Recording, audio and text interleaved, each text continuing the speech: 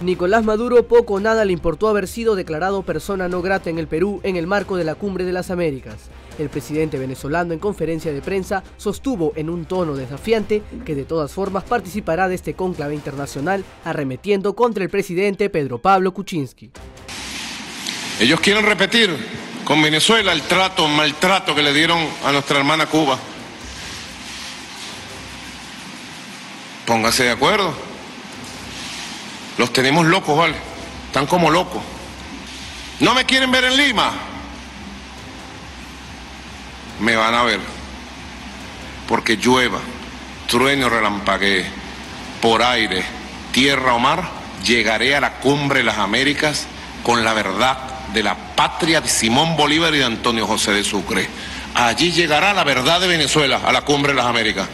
Desde la mayor parte de las bancadas del Congreso, los legisladores rechazaron estas imputaciones del gobernante venezolano, quien además cuestionó la conformación del Grupo de Lima. Sí, no nos extraña esa actitud, es la actitud matonesca que siempre ha impuesto en cada una de sus acciones. Lo hemos visto con el atentado al policía Oscar Pérez, ¿no? Y otros ciudadanos que aún habiéndose rendido, los aniquiló.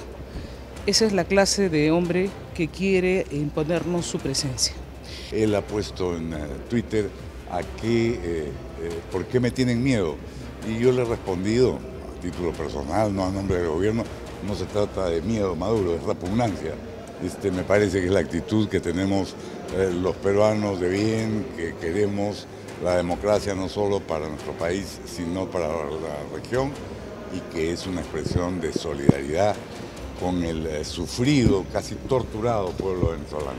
Tiene una simple respuesta reactiva, no pensada, eh, absurda, porque no se puede forzar eh, a, un país a que admita en su espacio aéreo, por ejemplo, un avión que no va a ser recibido.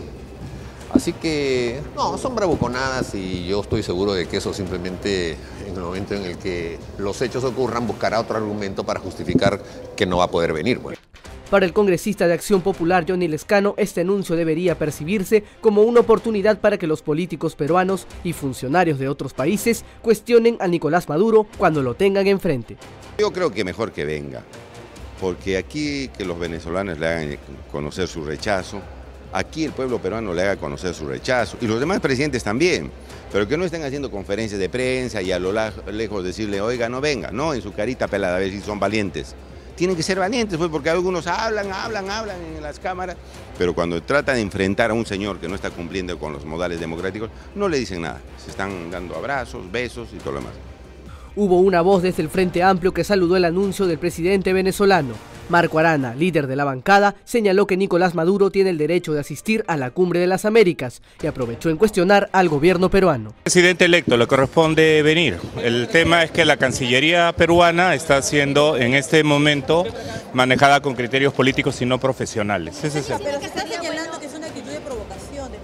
La actitud provocadora es la del presidente Kuczynski de nuestra Cancillería, que no está respetando lo que, lo que es para el sistema americano, el sistema interamericano, pero que todos los presidentes electos pueden participar de estas cumbres. Más bien, nosotros lo que consideramos es que hay una grave crisis política en Venezuela y que todos los países deberíamos ser solidarios para encontrar que se solucione de manera dialogada y pacífica, pero no con las intromisiones y las actitudes incluso groseras de cómo está declarando tanto el presidente Maduro sobre nuestro presidente como la Cancillería. Han dejado las formas diplomáticas para ir a un manejo ideológico, verbal, agresivo, mutuo. Y eso es inaceptable.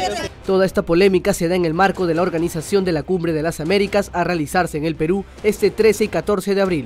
Hace algunos días, el Grupo de Lima había decidido declarar persona no grata a Nicolás Maduro y rechazar su presencia en esta reunión de jefes de Estado, algo que por el momento, luego de este anuncio, queda en suspenso.